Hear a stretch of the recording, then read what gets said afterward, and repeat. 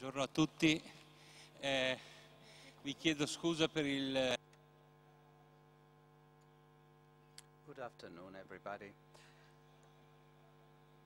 My apologies for this delay. It's entirely my fault. It's entirely my fault. Now, I have to introduce Mr. Lev Dodin. It's as if we had here, like McCartney. He's really one of the giants, one of the masters of international theater.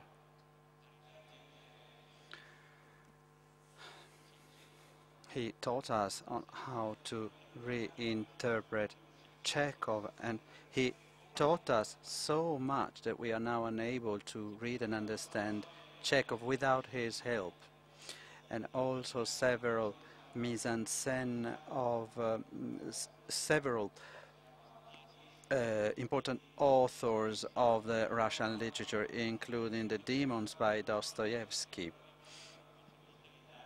and also other authors such as uh, uh, Platonov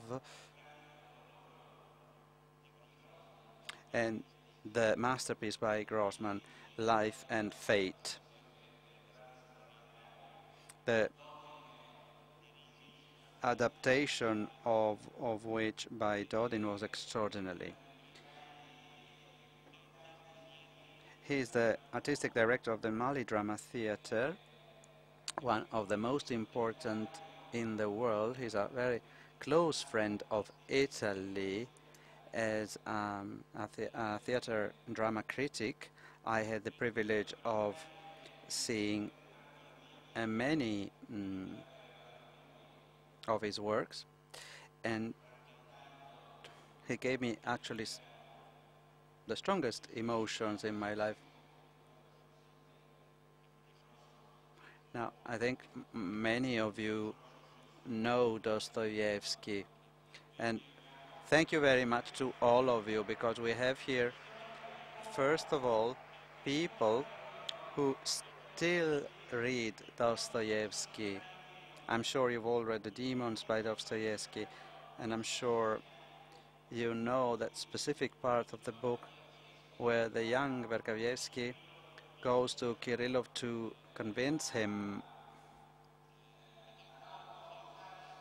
of accusing himself uh, of the killing of Shatov, uh, which had been perpetrated by Rakoviensky. And that specific part with Kir Kirillov that was about to kill himself is put and sent uh, on a table like this, Verkhovensky plus Kirillov.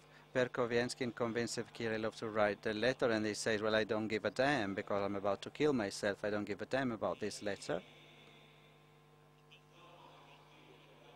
And after writing and signing the letter, Verkhovensky goes on to say, there's a there's a chicken over there. Did you order it? Uh, are you having it? No, I, I, no, I'm not because I'm about to kill myself. Then can I have it? Can I eat it? So for 10 minutes, Kirillov takes the gun, points it at his head, throat, and the other one, and, and the other is eating the entire chicken. The end of the scene is when he really finishes eating the chicken completely. And this gives the idea of what these demons by Dostoevsky are. They seem much more than any other essay. Uh, this is really the grandeur and the uh, the essence of theater that you can really experience things, that you can touch things. Obviously, the theater world in general is undergoing a crisis, possibly because the culture that we are uh, living in is enemy of experience. Now, I have a couple of questions for uh, Mr. Dodin. Now, if, if you go to any of his plays, uh, you, there's something that strikes you. It's always there's always something common, something joint.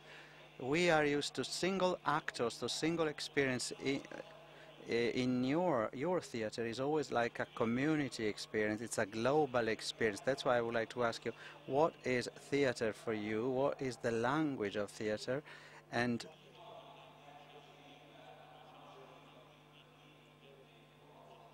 and how does the, th the, theater and drama in general can help us to better understand a human being? Let's remember that the title of this series to do with emergency говорит, что я бы с удовольствием только его и слушал, он так Dice, замечательно все eh, grazie описывает. mille.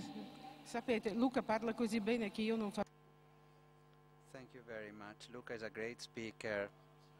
Uh, I could go on and on listening to him. Thank you very much for coming here. It's a pleasure seeing you also in huge number. But I cannot guarantee that it will get any more interesting.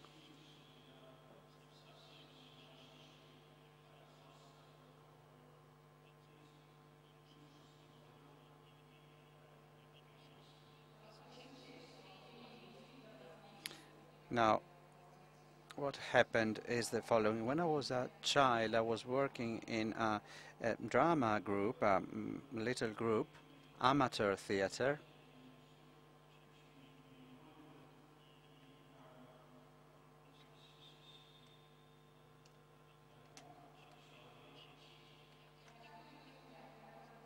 And this theater was guided by a marvelous person, a, a very good director, uh, a student of Meyerhold, also a great pedagogue and a great teacher.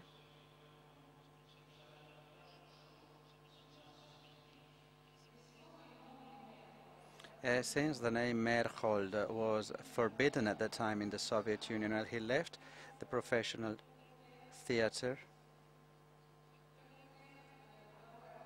to be able to work with children.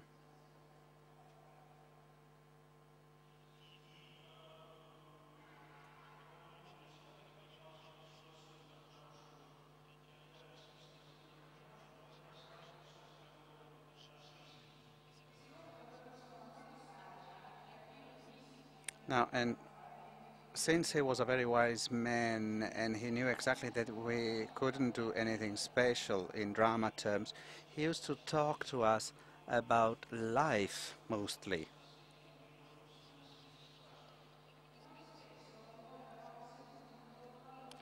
And very often we were seated there around him and he would tell us about the things of the world and then and we would ask questions about all these different things of the world.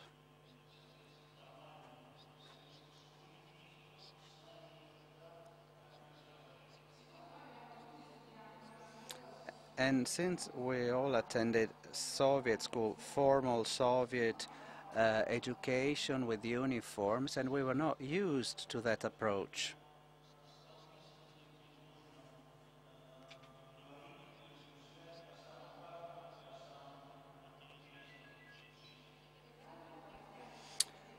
And since then, the theater became for myself the place where you can speak about the most interesting things of life.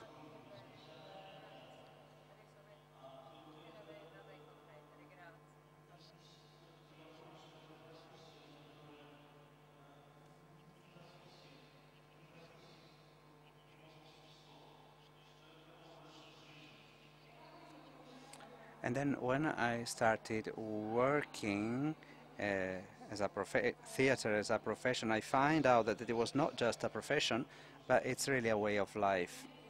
It's a way of being in this world. And I think that maybe all artistic professions are like this. It's not, they're not just jobs.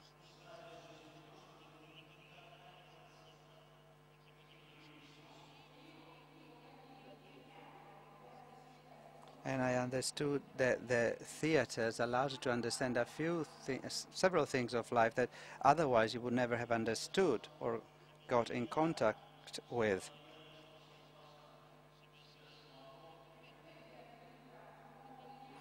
And uh, th the theater has become the ideal way by which I get to know myself. It also at the center of my relationship with other people and with life itself.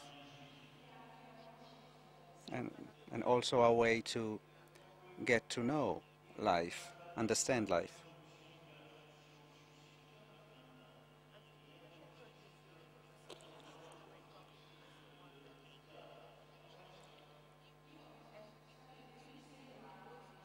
I am also a teacher. I teach young people, and very often mm, I ask myself, why is it that these people want to come and take drama lessons?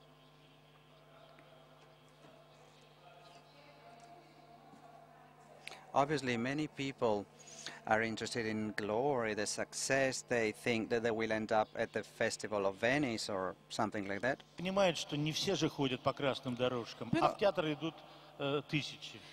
La maggior parte and the vast majority of them do understand that they, most of them will not end up at the Festival of Venice, but nevertheless, by thousands they go and take drama lessons.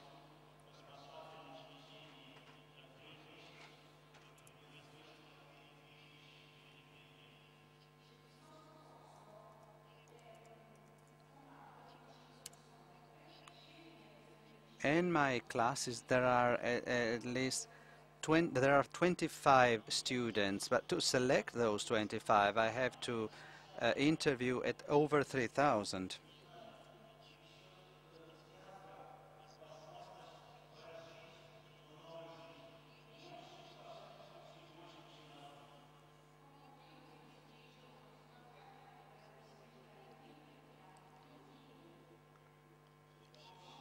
And I think that these young people are ready to experience more than one life in theater, several, several different lives. And I think that at least unconsciously, this is the aspiration of uh, um, the human being to immortal life.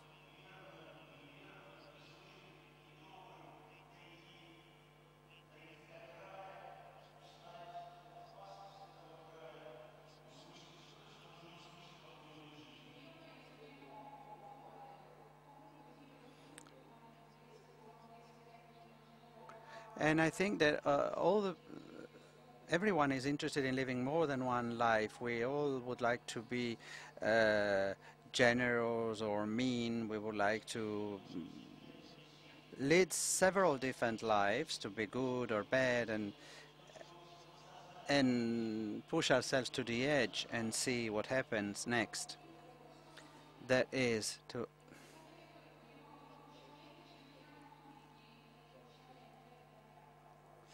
we would like to live extraordinary experiences. That's all. wh- What, that's what we want. Although we are, are all uh, scared of that.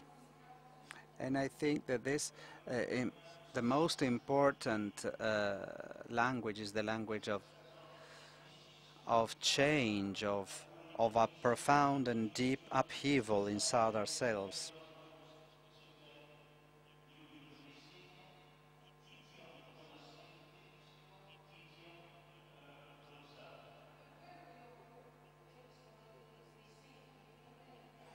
That's why I think that theater uh, can be boring unless it offers opportunity, first of all, to those who are on stage and to those who are part of the audience of going through this process of uh, being one and thousand different persons.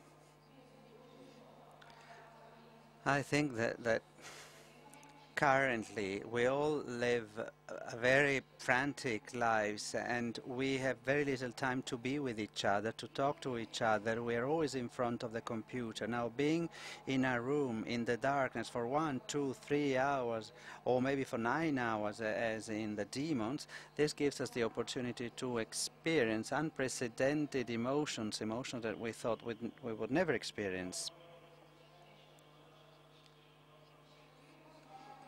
Now, I, I could go on forever to talk about these things, and I could go on forever to reply just to the first question.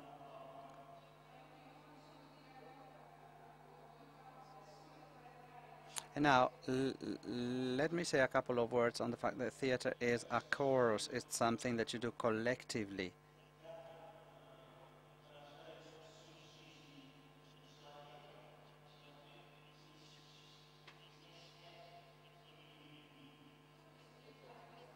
I think that um, theater really expresses the real meaning of life because uh, no, no human being is meaningful without the interchange of emotions with the others.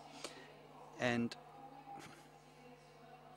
and the human person is, has only, its only sense depends on how they relate with each other. And I think that human relationships are the most interesting thing to look at.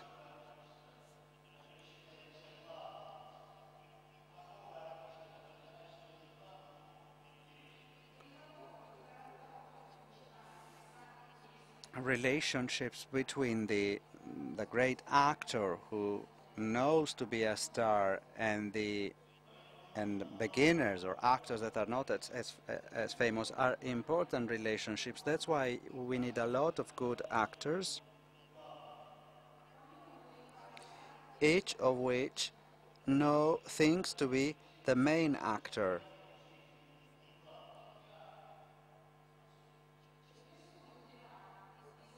Nobody will ever say about uh, himself, I am not a hero, I am not the main character, I'm just a secondary character. Nobody like to think about himself in this way. And great writers, great playwrights have no secondary characters.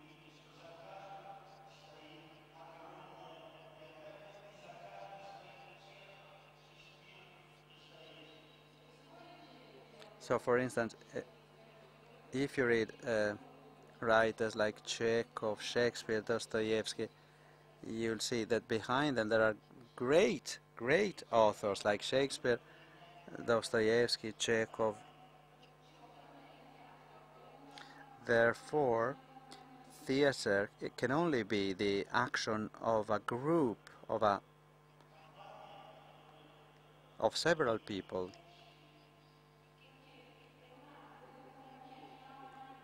it's a, a, a specific art that has something in common. It's a theater company gathering several people that, that have something in common. So every writer has got his soul, a composer, an artist, a painter. They've all got their soul.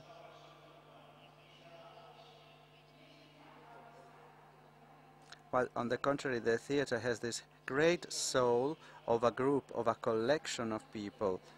And despite the differences, despite the fact that all of these persons are different,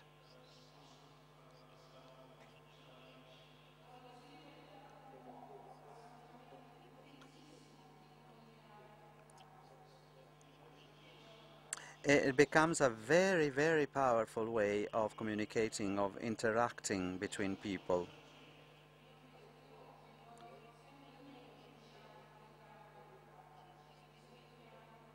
And I think that currently we are not very good at talking to each other. We're not very good at interacting with each other. That's why I go on speaking by myself.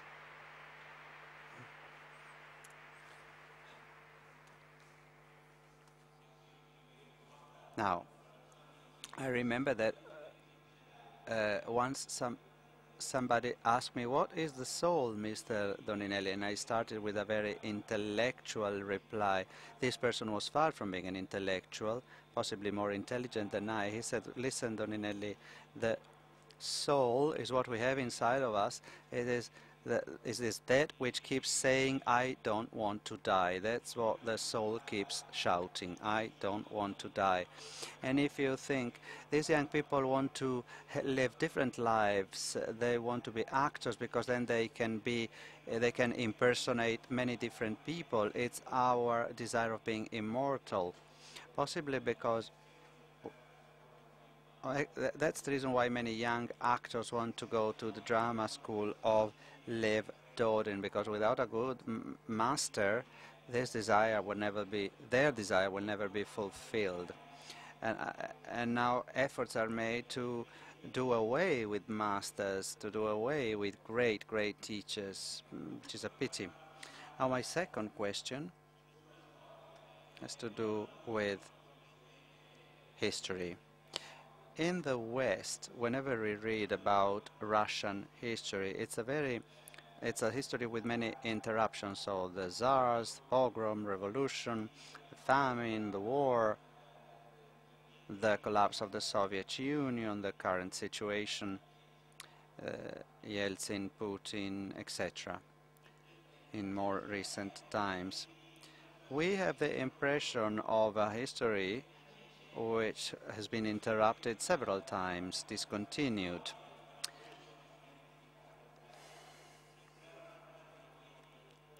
There's a part of the Russian history which has never been told by books, but it's been told by artists, playwrights, and writers. This is quite impressive, really, because for the Russians, the poet Vysotsky uh, which we studied among the dissidents. Uh, well, for the Russian, he is a nephew of Pushkin. Now, my question is, since you are a protagonist uh, of the Russian history, you've seen all the political uh, evolution in Russia. How do you interpret your responsibility of being the voice of the entire history of the Russian people? Uh, with your uh, plays, uh, with your um, works Uh, up to Life and Fate, all your works. This is quite a complex question, really.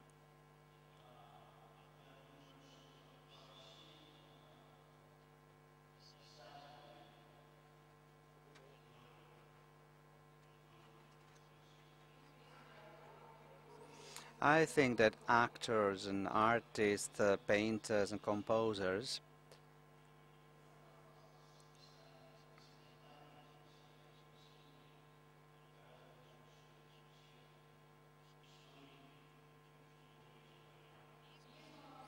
I think that they can understand and express and disseminate their history much better than politicians and historians. And this is true not only in Russian literature.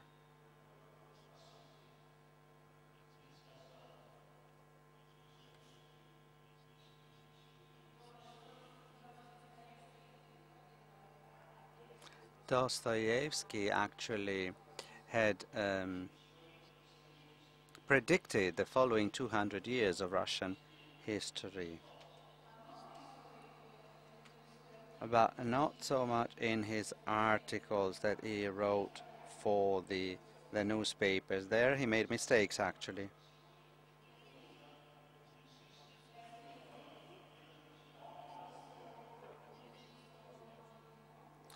He wrote those articles as a politician or as an historian and he had very precise ideas actually on several things.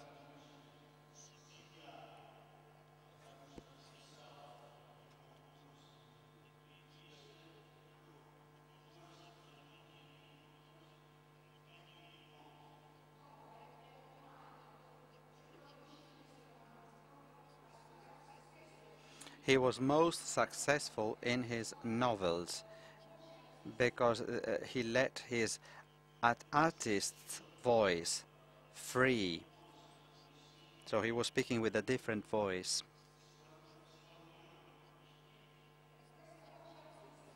And this artist's voice, which is much stronger than any conviction, than any, uh, than any idea,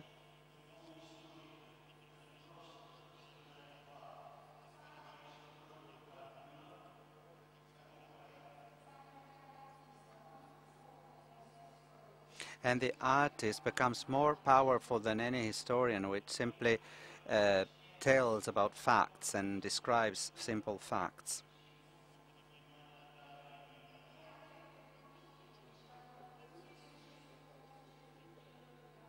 And it is more powerful than the politician, which also makes a different interpretation of things.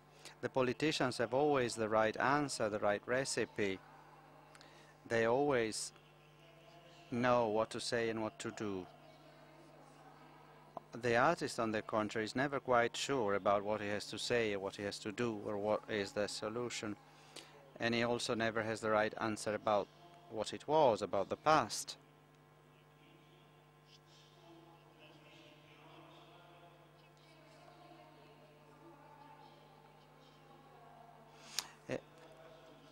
The artist simply tries to depict what people feel and where the human nature takes us.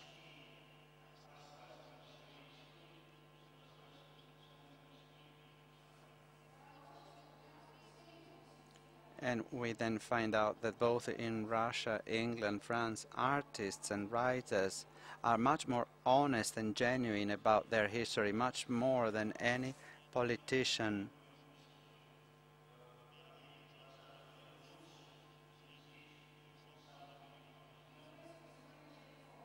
And I think that if you read Faulkner, you can understand the history of the 20th century of the United States much, much better than by reading any history book.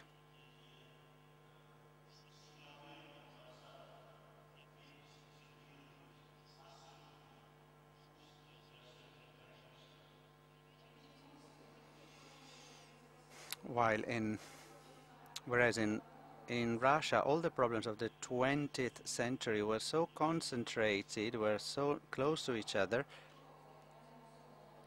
Uh, many lies were told in Russia for over one century.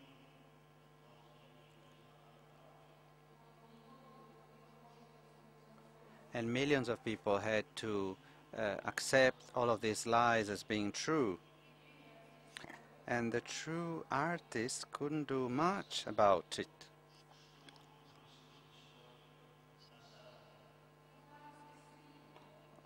They the only thing they could do was writing maybe and try to tell the truth in writing.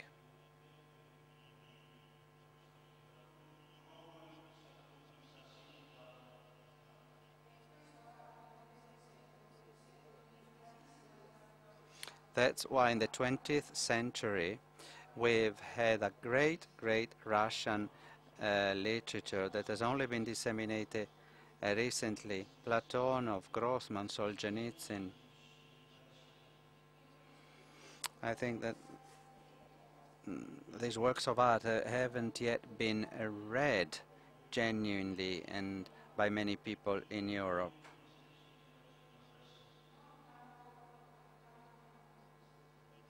Not neither in Europe nor in Russia. And therefore, up until today, we are not fully aware of our own history. We don't understand really where we are today.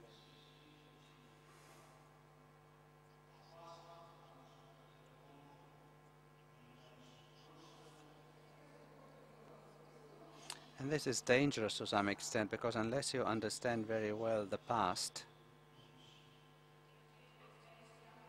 because you are mm, running a risk for your future.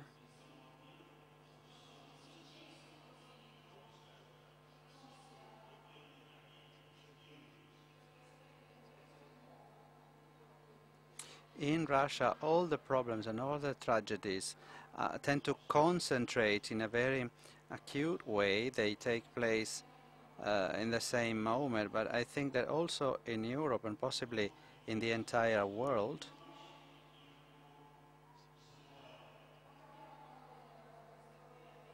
we don't understand much our own history and we tend to forget history very often.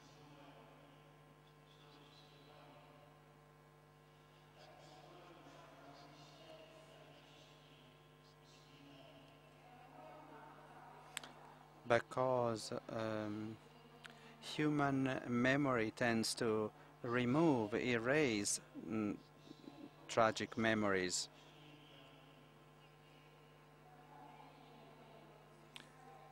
Our human memory uh, removes uh, unpleasant memories and, un un and unpleasant thoughts. And in an attempt to erase and quell pain,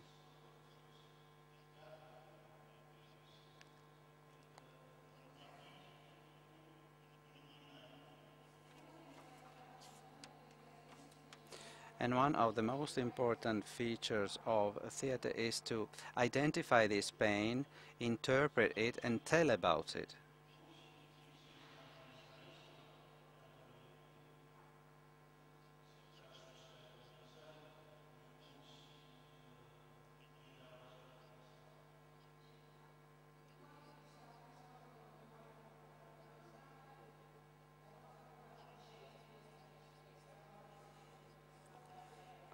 Dostoevsky is mm, very well known among you, and but we tend to forget interesting things. And even if you've all read Dostoevsky, uh, you don't remember enough.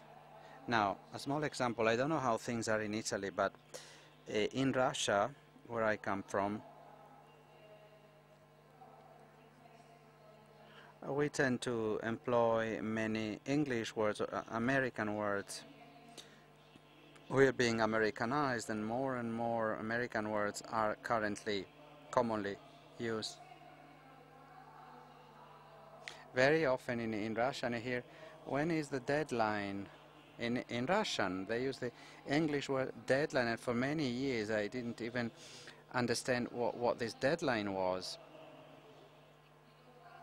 Especially in the in the journalist's jargon, the term deadline is very commonly used.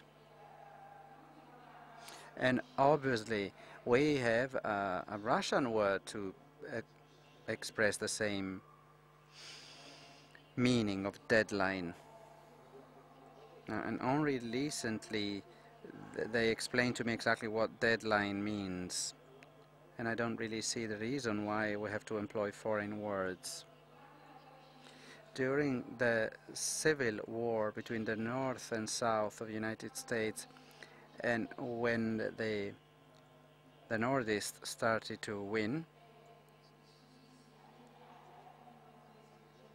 the people from the south were taken hostages and prisoners.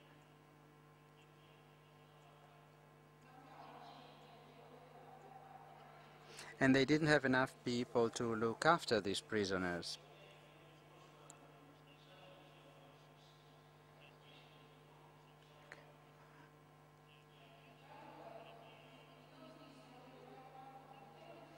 So those from the north decided they would put all the prisoners very close next to each other, very tightly, and they, they would draw a circle line around them, and the prisoners had to uh, stay within that circle, never put a foot outside of the circle.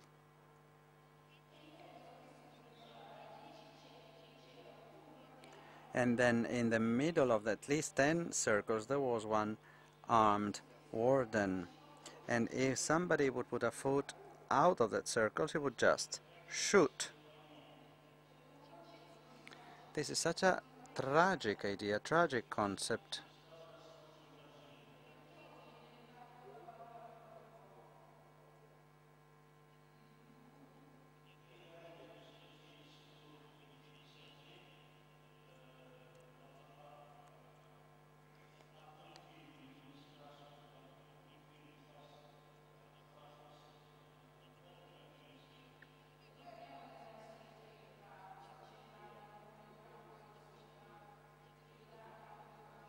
this is quite common. It could well be that then somebody will ask, I don't know, director of a, a company will ask another director, when is the next Holocaust? Could well be. They use the, employ the term Holocaust simply meaning when do you intend to reduce the number of staff.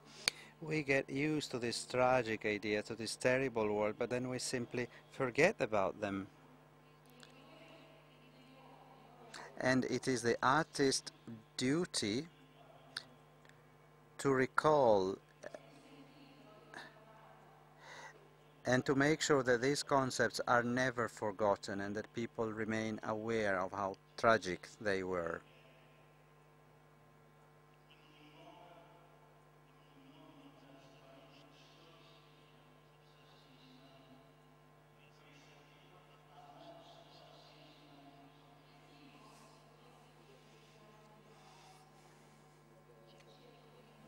And now, and I listen to my masters, my teachers, in an attempt to understand what happened, uh, to understand what happened and to understand what uh, is going on today.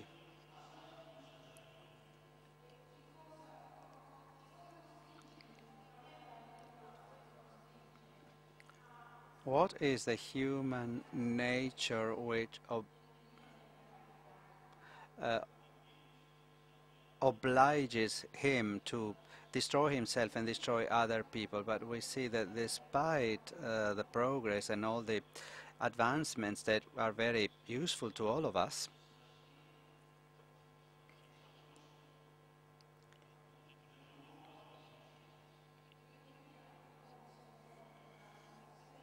we see that people tend to behave worse and worse towards other people because and people tend to lose their own identity.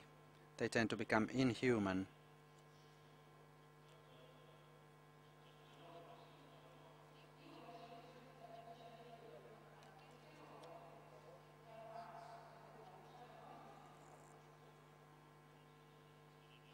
I think that terror and tragedy has always existed. I think that Brutus who killed Caesar was the first act of terror when Alexander II was killed, he was killed for political reasons.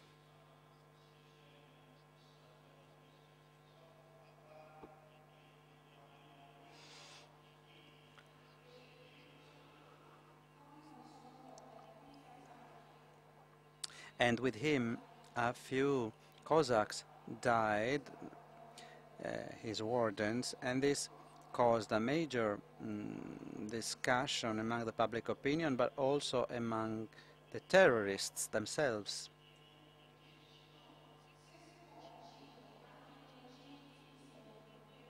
Sometimes you end up killing the innocents alongside the, the evil.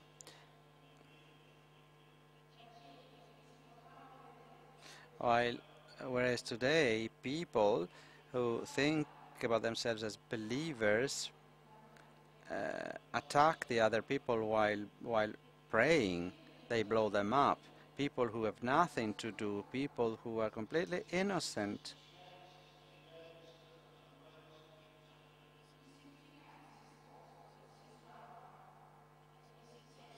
So meanings change and and you don't know really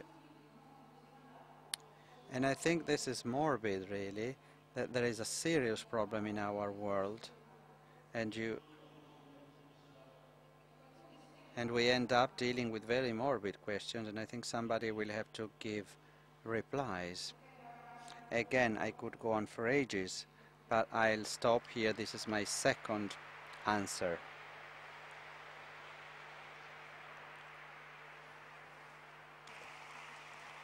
Anche noi possiamo andare avanti a lungo, ma eh, la testimonianza che ci ha dato adesso Dodin è qualcosa di straordinario e, e io spero che la conserviamo. Qui dopo viene una domanda talmente lunga che la salto, eh, perché sennò finisce il tempo, ci devono cacciare via tra un po' già solo a leggere la domanda.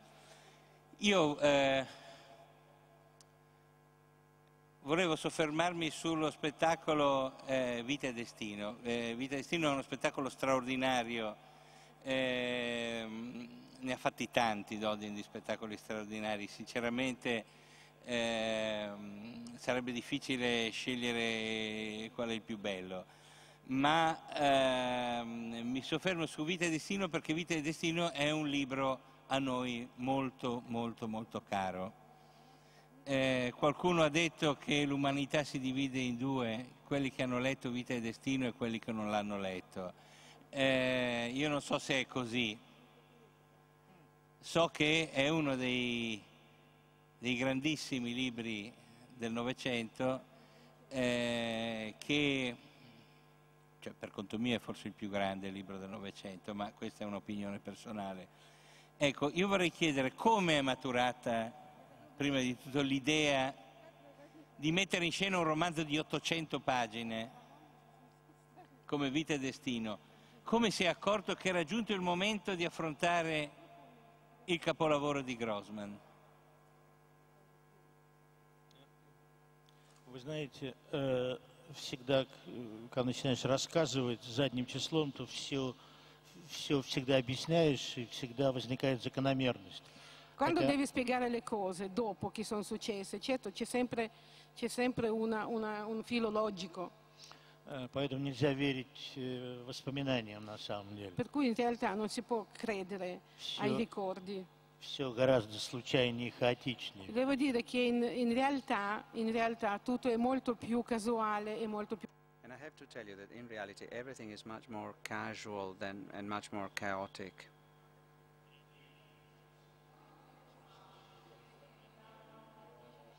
A long time ago in 1983-84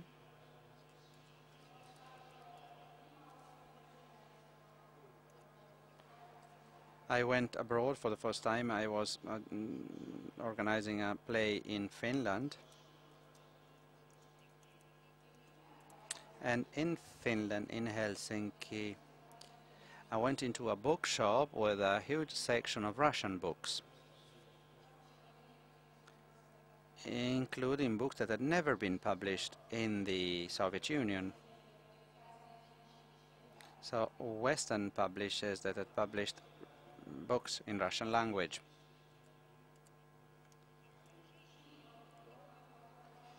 And after the rehearsals every day, I would go to that shop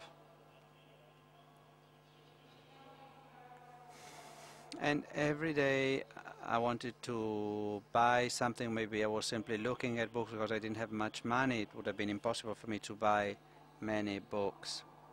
And then all of a sudden I saw a huge book, a book of about thousand pages,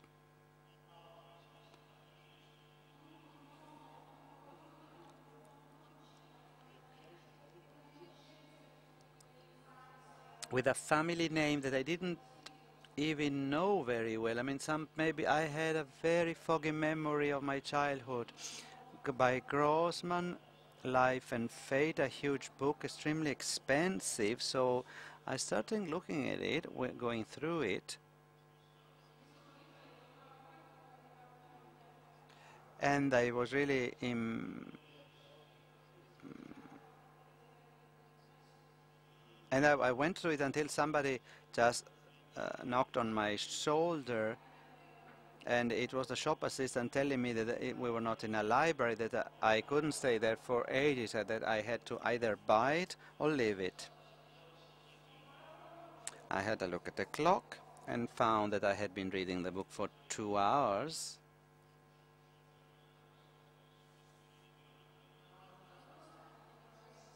And uh, although I didn't have much money, I did buy the book. And I read it in two nights.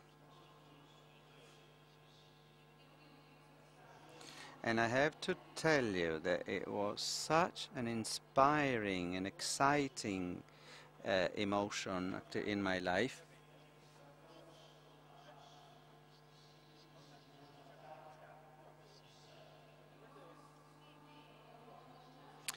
I couldn't possibly imagine that it was possible to write in that way about our own reality, that our reality deserved such a precise description, that in our reality it was possible to found a deep description of the problems, of the aspects problems that were very similar to those depicted by Tolstoy in his reality. And also was very much uh, struck by the truth that was in that book. Reality of which I was part, because my childhood uh, was concomitant with Stalin, with Stalin's age.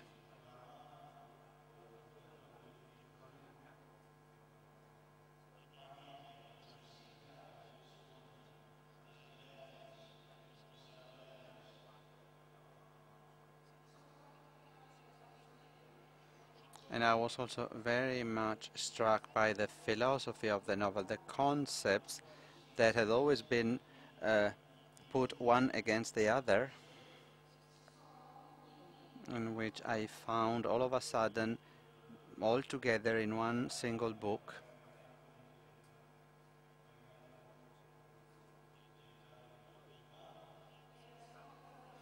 And the Second World War uh, interpreted as a fight, as a struggle between two totalitarian regimes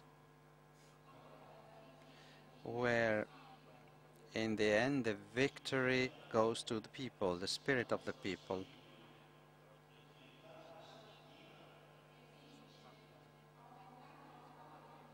And victory is achieved is achieved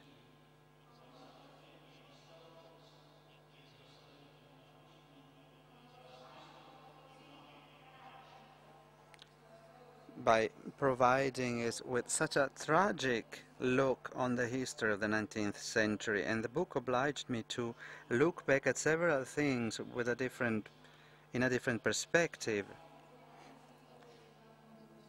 The book meanwhile has been published also in the Soviet Union.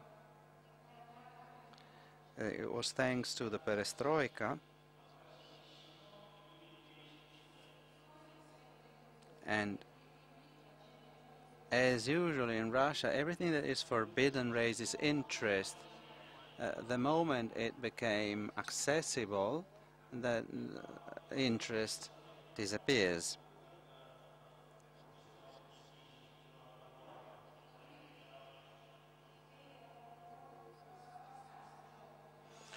I was very young when I read uh, the Gulag Archipelago which was a manuscript at that time.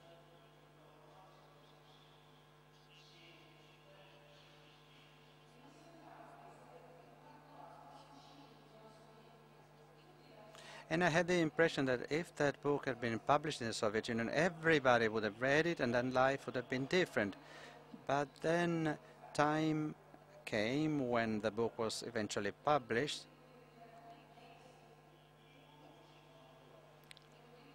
huge, huge number of copies, but very few people read it, unfortunately. And most of them possibly did not understand much about that book.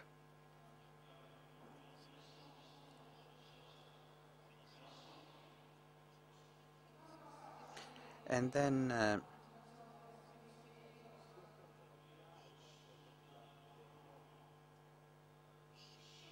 So I went on reflecting upon Grossman's philosophy and I understood that it would be helpful to dig even more in depth.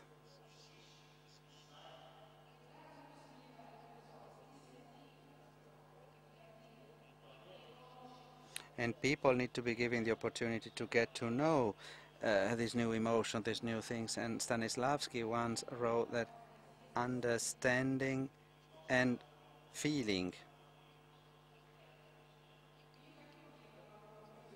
Now I understood that that was a huge work and it, that couldn't simply be done um, in the theater because mm, the theater has several limitations, time and financial limitations.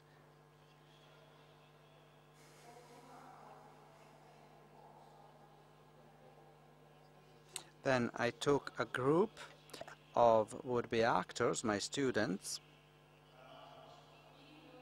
and I told them that the five years that they would spend uh, with me for their education would be entirely dedicated to the novel by Grossman, Life and Fate.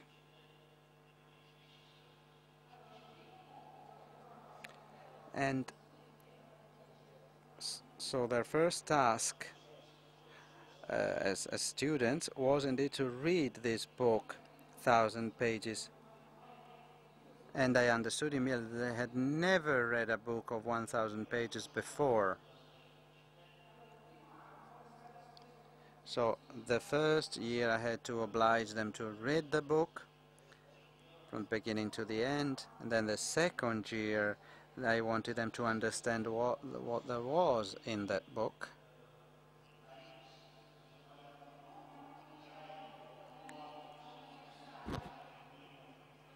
And then we started to analyze the problem. We went to Norilsk, the a very faraway place in Russia, the pl place uh, of gulags. And we also went to Auschwitz, where we spent a few nights in the concentration lager.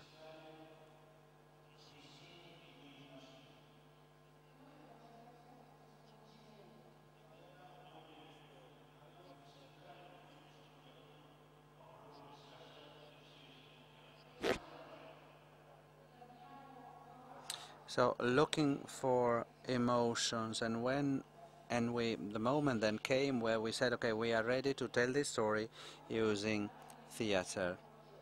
And then for the next two years we had to prepare the, the entire play.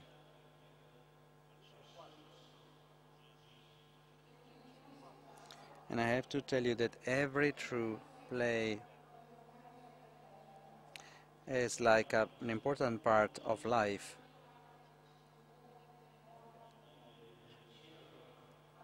and when, whenever you speak about Chekhov and the demons, etc., I remember very well not so much what happened on stage, but rather what used to happen in life.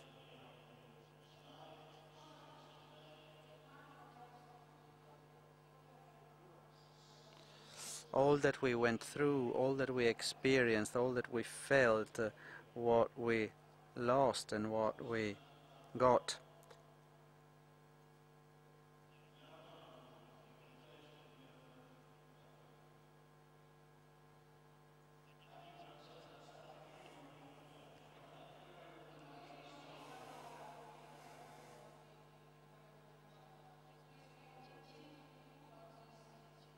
And there is never a perfect balance. There's something that you get and something that you lose. Dep sometimes you lose more than you get, sometimes you get more than you lose. One never knows in the process.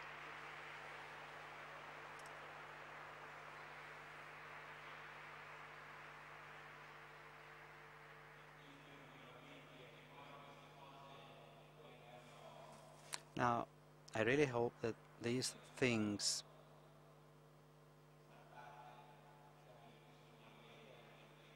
are somehow printed so that we can read and reread the testimony of this great artist, the things that he told with uh, a lot of humility. Now, I would have many more questions, but unfortunately in a few minutes we all have to go.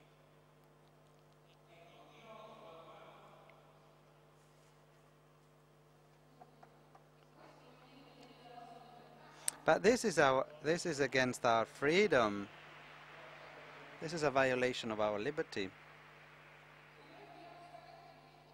If we want to stay here for longer, who can send us away?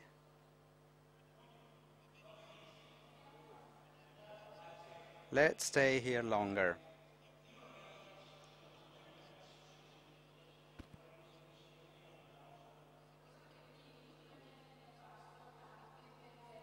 Maybe you know that I've been fighting all my life to have some more extra time because everywhere they keep they cut the time that I have for rehearsals and then I fight and fight for extra minutes, extra time. It's my constant struggle.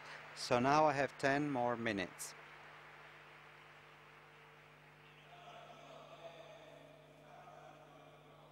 Now, I am a very fond reader of Grossman myself, and I read twice Life and Fate in the two different versions that I have because Life and Fate it's actually it's not one novel it's actually two novels it's the story or the several stories told in Life and Fate but then there is the history of the book which is an extraordinary story. There's something that has always struck me and that uh, every time I look at this book so the entire tragedy which is contained in that book. In that tragedy, there's always something beautiful. Beauty is never absent. Also, in the most terrible scene, there's always a little room for poetry, for beauty. Go and read that book. There is not one single page, one single excerpt of that book where there isn't at least one touch of beauty, a nice object, a look to the sky and the stars, an unexpected beautiful sentence, a window of hope that opens up to the universe. In the sky of Grossman, there's always something shining.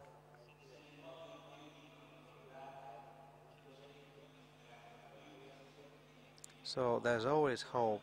And since the title of this year it's emergency, emergency for the human being, this means that we have to find the true face of the human person and we're always looking for the face uh, of the human person to find the true face that can emerge despite the difficulties in history. So my last question to Lev Dodin is the following. Can an artist do something completely negative? I'm thinking about Cesare Pavese, Leopardi. Is it ever possible that an artist, even if he is a pessimist, if he has a very negative uh, opinion on the world, uh, being an artist, can he say something which is entirely negative?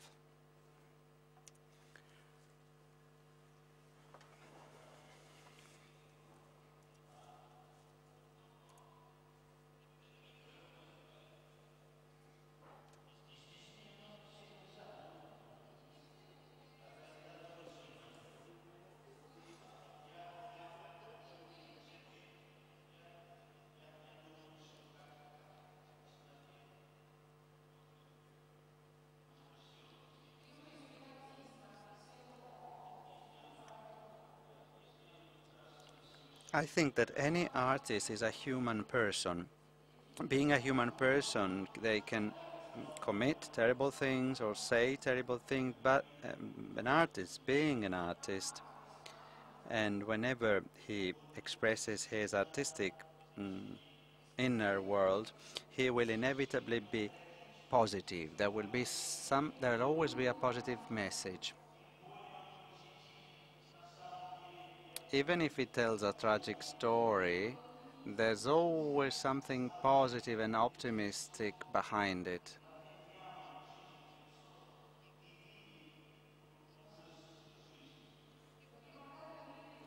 Because looking at life right in the face and seeing the horror of life, the despair, but without being despaired, and then and taking desperation and tragedies to taking it to the stage and making this terrible effort to feel the pain and convey these feelings of pain and sorrow.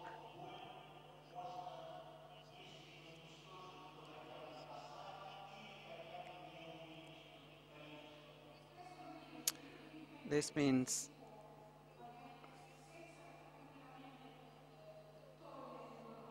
without removing pain, without uh, erasing pain, you can mitigate it, attenuate it.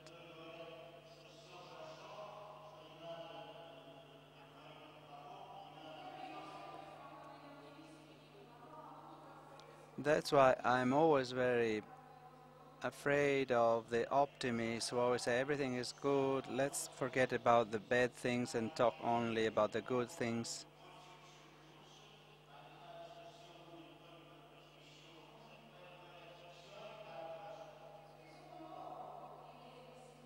They are, these uh, optimists are in reality pessimists. They don't they think that everything is already perfect, so they don't, they have no hope that things can improve, that it could be even better.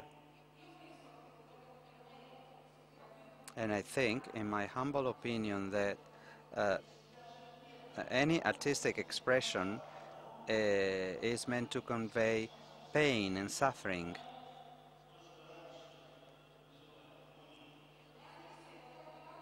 And even if somewhere in the world, somewhere in this planet, we could find uh, heaven on earth, which was once called communism, and and many people in Russia now think that heaven on earth is capitalism, even if it is like this,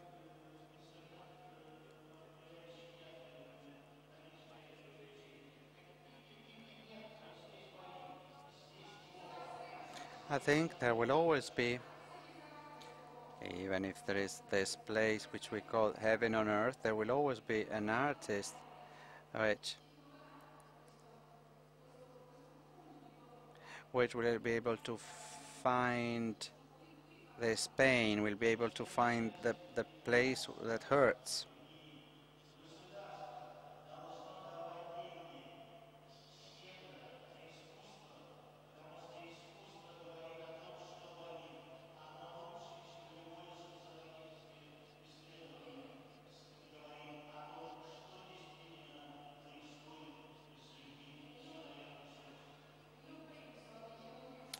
And I think, and I'm attempting here to convince my country and hopefully other countries that they that they should finance culture and the arts more because the arts, all artists are able to define and describe the things that hurt. But unfortunately, the powerful are unable to understand this. But then when they go uh, when they are no longer in power, then they realize. For example, the pontiff, Pope Francis, said not long ago, I, had, I liked it very much, if I understood properly, he said,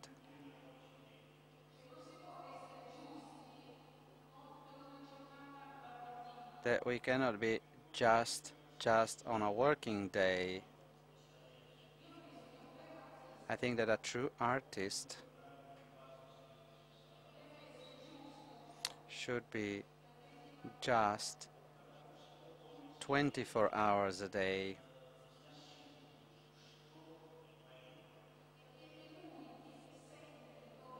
Because the artists are the only one who know where it hurts.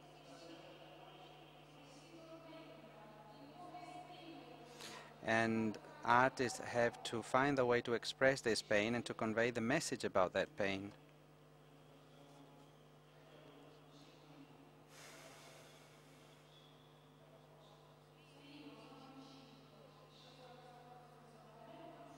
I hope uh, during our conversation, I, hope that I've been able to convince you that things are never easy that theaters are places of pain, but in spite of this are also places of interest and entertainment. If, if I succeeded in doing this, it means that, that, that the meeting has been a success. And having said this, we can now go. Thank you. Tra le tante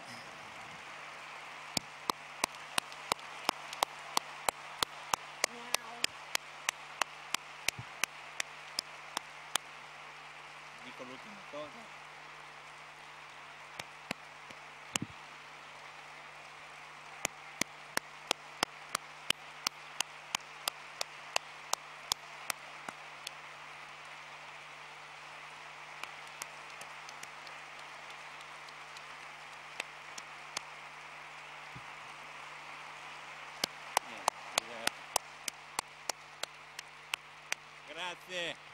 Grazie. Volevo dire solo una brevissima cosa, tra le tantissime cose che ha detto, ecco, c'è un augurio. Thank you very much.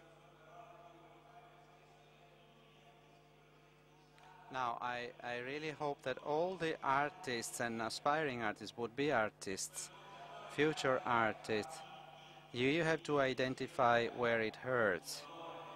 Uh, you have to find suffering within our life without our experience. Please try to identify that specific area. Thank you very, very much. Thank you.